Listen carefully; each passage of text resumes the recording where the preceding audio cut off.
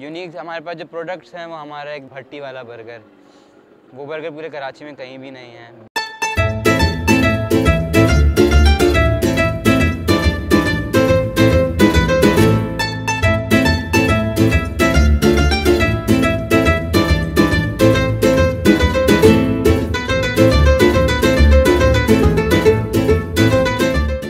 सैयद अबीर आमिर है। मैं यूनिवर्सिटी स्टूडेंट हूँ। इकरा यूनिवर्सिटी में मैं हूँ। सीएस मेरी फ़ील्ड है। आइडिया इस चीज़ का हमारे पास जो है, वो वहाँ से आया कि हम जब तीनों दोस्त हम लोग बैठे हुए थे तो हम लोगों ने कहा कि भाई ब्रिक ओवन पिज़्ज़ा हर जगह है।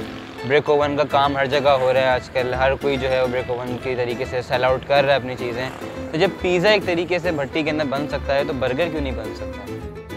बर्गर के अंदर क्रिस्पी फ्राइड चिकन होती है फ्राइड चिकन की तरह होता है फिले होता है हमारे पास के चीज़ सॉसेस होती हैं और इसके ऊपर हम लोग गार्निशिंग करते हैं अपने एक सीक्रेट हमारा स्पाइसेस का कॉम्बिनेशन है, वो जो है उसको हम लोग गार्निश करते हैं बिल्कुल एंड के अंदर तो वो एक अलग ही इसका टेस्ट जो है वो चीज़ी है।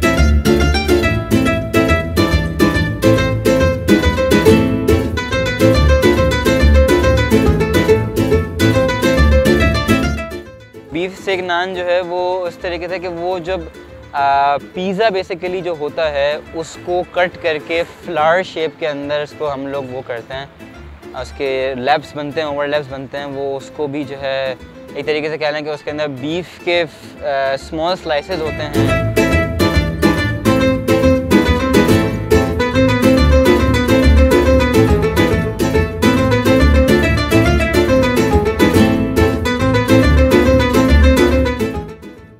टाइमिंग हमारी है। शाम छः से ले कर हमारे पास रात दो बजे तक हम टाइम सर्व करते हैं।